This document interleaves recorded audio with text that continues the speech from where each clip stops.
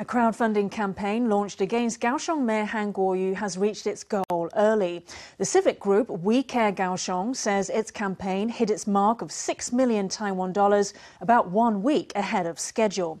About half the donations will go toward organizing two anti-Han rallies.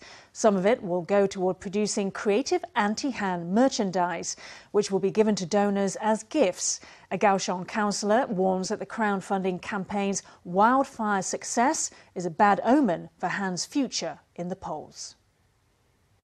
没有人天生就会当市长。但我们希望他可以专心市政的发展。This is We Care Kaohsiung's promo video for its campaign to recall Kaohsiung's mayor. The campaign reached its goal earlier than expected.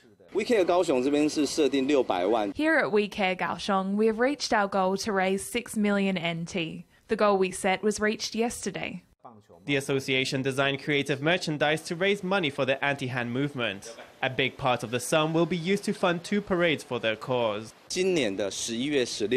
This year, on November 16th and December 21st, we will hold two parades with over 10,000 people. I think that what Mayor Han represents is not just broken promises and the neglect of duty. It's not just a powerless Kaohsiung administration. Behind him stands a terrifying pro Beijing power.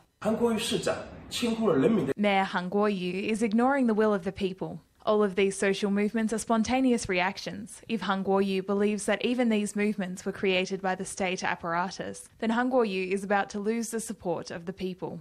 Over 4,000 people have donated to the campaign, which reached its 6 million NT target in just over a month.